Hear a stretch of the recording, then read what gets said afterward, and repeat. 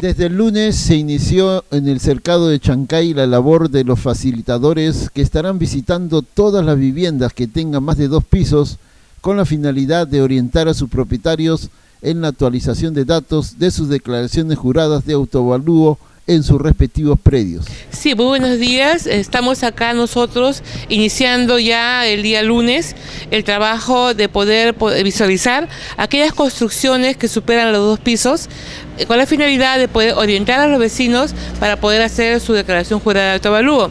Quiere decir de que en el transcurso del tiempo ellos han inscrito su, su propiedad con un solo piso, digámoslo así, ¿no? Pero han ido construyendo y no lo han hecho.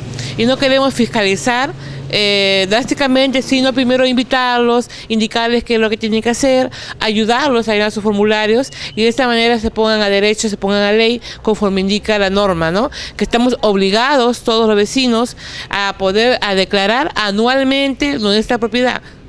¿Desde qué día? ¿Desde el día lunes? Sí, lo empezamos el lunes Andrés y vamos a continuar todo el mes, durante todo el cercado de Chancay y también las zonas periféricas, el sur, el norte y el este. Actualmente son dos trabajadores que están saliendo de la municipalidad, el señor Jacinto Luis Ocaña y la señora Marixa Maldonado Pariona.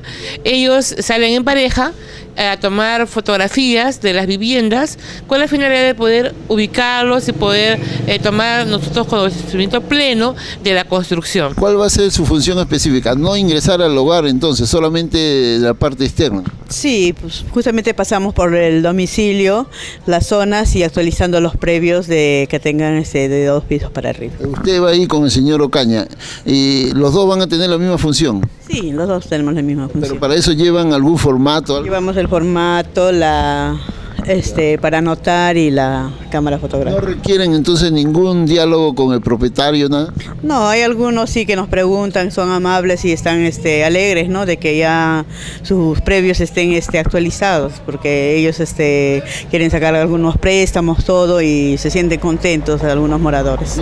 ¿Nos repite su nombre completo? La señora Marisa Maldonado Pariena usted va a ir con el señor Ocaña, ¿no? Sí, es así. Señor, entonces su llamado a los propietarios de la zona de cercado para que estén ya advertidos de esta campaña que se inicia el día lunes.